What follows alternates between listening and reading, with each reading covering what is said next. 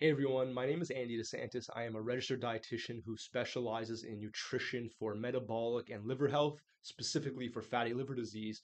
And if you are someone who is tired of hearing about all the foods you can't or shouldn't eat because you now have fatty liver, today's video is for you. I'm going to offer you some really, really helpful tips and explain why they're useful for your liver health. To get there, though, we have to start with understanding the four issues that cause and worsen fatty liver disease. Those are insulin resistance, inflammation, imbalances in your gut bacteria, and high triglyceride levels. So, for each of these four points, I'm going to give you one nutrition tip. Let's start with high triglyceride levels, okay? Omega 3 fatty acids, specifically EPA and DHA, are the most effective way to lower triglyceride levels.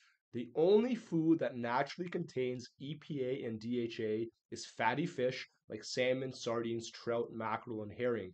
If you can eat those, if you like those, start to eat those more often. Okay. Number two, insulin resistance. Insulin resistance is an almost universal feature of fatty liver disease. Almost everyone who has a fatty liver has insulin resistance. The number one food recommendation I will give you for insulin resistance is legumes. Legumes are lentils, chickpeas, kidney beans, and black beans, and they're very unique because they are the only food or one of very few foods that has a large amount of fiber and protein in the same place, which means if you add them to a meal, so let's say you switch your meal from using rice as a base with a protein and vegetable to a 50 50 mix of rice and lentils, that totally changes the blood sugar effect of the meal. It also exposes you to more fiber, more protein, more magnesium. So, legumes at your meals, another key point. I recommend my clients eat legumes daily. Okay. Number three is microbiome imbalances. So, from a supplemental perspective, probiotics help with this, and that's why there's so much research demonstrating that probiotics are good for fatty liver disease.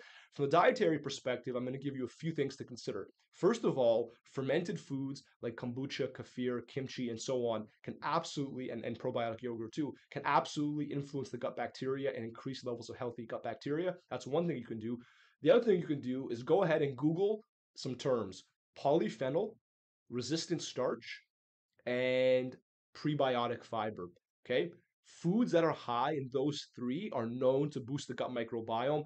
I'll give you a full article in the link in the description to teach you more. So you, you don't have to Google them, you can just read my article. Okay. Number four is inflammation. I'm going to help you here too. Link in the description. I'm going to put my anti inflammatory nutrition guide. But right off the top, Two foods that are very good for fighting inflammation are berries and citrus fruit. On top of that, a lot of studies show that regularly using herbs and spices like parsley, oregano, turmeric can lower inflammatory markers. That's only the tip of the iceberg, guys. There's much more to learn. Check the links in my description for more information. Now, bigger picture, everyone, I have a online course and community called Fatty Liver Fighters where I help people just like you fight back against fatty liver disease, learn to ha- learn how to use nutrition in their favor, learn how to stop fearing foods, and to improve not only their metabolic health, their liver health, but also their general health and the relationship with food. If you'd like more information on my course and community, I will also put that link in the description. Hope you enjoyed today's video.